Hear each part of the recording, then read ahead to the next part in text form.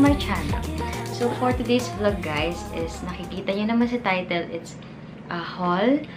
This is sponsored by Estelle and thankful ako kasi nag-reach out ulit sila sa akin. So bali pang second campaign ko na to sa kanila and more to come. so ang dami ko talagang clothes na na-receive as in uh, ang dami. So ayan, so without further ado, let's start. So yung first um, piece na nakuha ko, medyo mahirap. uh, itong, hindi ko alam kung anong tawag, pero itong, nakita nyo ba? Ayan. Actually, sobrang liit niyang tignan kapag kinuha nyo, kasi, ito lang siya, oh. Diba? Ito lang. Parang, diba? Pero guys, ito yung suot yata ni Jenny. Parang ganun. Siguro parang inspired. Ayan. So, wait lang. Focus. Ayan. Meron siyang tali. Pero, hindi siya stretchable. As in, uh, design lang to. Ayan. Hindi siya na-stretch. Ayan. Fix na siya. And then, meron siyang parang hindi, parang hindi see-through na see-through talaga. Yung parang pad niya. Pero, additional na cloth lang para medyo makapal, di ba? Noot ko to, limited lang yung movement mo, like, parang ganito lang. hanggang, hanggang dyan lang, hindi ka makakaangat. So, less nakatulad ko kayo kasi I have big arms. Kasi mahilig ako mag-workout. So, I think, kung ganito rin yung braso nyo, katulad ko, pwede naman siya, pero um, dahan-dahan lang kayo. Kasi, pag ganun-ganon, di ba? Biglang mabutas. So, overall, maayos naman siya and cute. So, pwede na. So, next up, guys, ito, medyo, medyo alanganin din nung nakita ko siya. Tignan nyo naman, ang liit. Tignan nyo. Oh, di ba? Isipin nyo, mas, sabi ko, kasya kaya to sa akin? Paliit ng paliit yung nakita ko. Stretchable siya, as in, oh, di ba? As in, tignan nyo ah, ito lang siya, pero, oh, stretch na stretch. Maayos naman siya. So, may paraffle design throughout sa mga dito, throughout dyan and sa gilid. So, ayan yung design niya. So, maayos naman siyang tignan, pero sobrang fit lang din if isusuot mo. Pero, makakagalaw ka pa rin naman. Unlike dito, Iba kasi yung tela niya, hindi siya stretchable. So, ang next naman is yung suot ko na. So, ayan, eto, sobrang cute nito kasi it's purple. Tignan nyo. Oh, di ba? Mm, kabog. And then, medyo, ano yata yung purple din yung bra ko. so, eto, pur actually, naka-swimsuit ako na bra. kasi wala na akong mahanap. So, ito na lang, nag-purple na lang din ako. Para cute. Ayan, ito, hindi kasama to guys sa bra ko yan. Purple din siya. so, ito, ito yung uh, parang, I don't know if square, square neck ba yun? Pero, maganda yung tela niya. It's very hugging. Like, ganun. And, if fit yung katawan niyo, mas maganda siya sa inyo kasi makikita yung korte ng katawan niyo, yung curves. So, fit nyo to guys Ayan, nakikita nyo sa suot ko. Ang ganda, diba? Mukha akong princess. So, yung next naman, guys, ito, palavard. Oh, a yarn. Ito, stretchable siya, pero iba yung tela niya.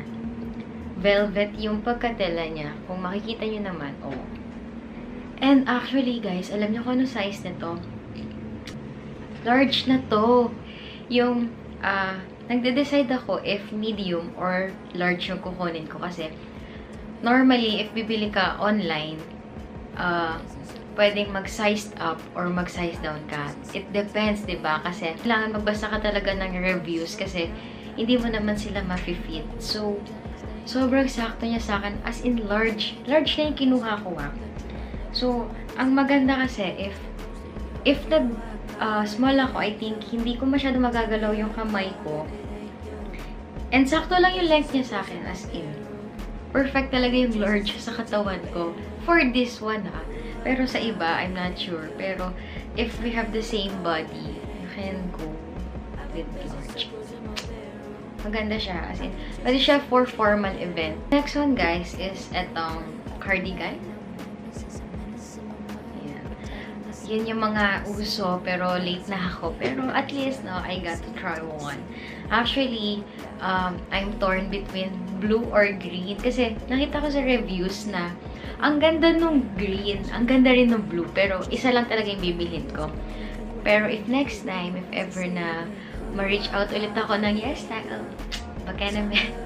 Medyo mahaba siya sa akin. Kasi, di ba, alam niyo naman, maliit ako. Pero, pero at least, ang ganda niya and makapal siya. Yeah. Kung makapal na yon ito, mas makapal. As in, die. As in, ang kapal niya. Yung, yung cloth nito is very thick. As in, ito sa lahat ng na-receive ko, ito yung pinakamabigat pag nilaban. As in, tingnan nyo naman, oh. Wait lang. Ang laki niya, di ba? Pero, okay lang kasi it's parang, uh, parang oversized na rin siya sa akin. So, yan. Mm, di ba? Masyadong mahaba. So, plain lang siya and medyo mahaba. So, I think kasi nga, maliit ako. So, medyo mahaba. Tignan nyo naman yung length kung susuotin ko siya, diba? Makapal talaga yung tela niya, as in. As in, tingnan nyo naman. Oh. Ayan, oh, tignan nyo. Parang tatayo na siya, di ba, mag-isa. So, ganun siya kakapal. Mas makapal pa yata siya sa H&M or Uniqlo na sweater, I think. Pero, nakalagay is sensible choice.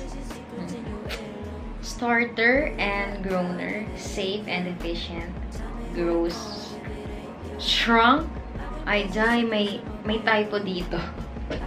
may typo ngayon ko lang nabasa, strong. Feel ko, tit dapat to. Nakikita nyo ba? Ha? Wait lang. Ayan guys, oh. Ito yung last.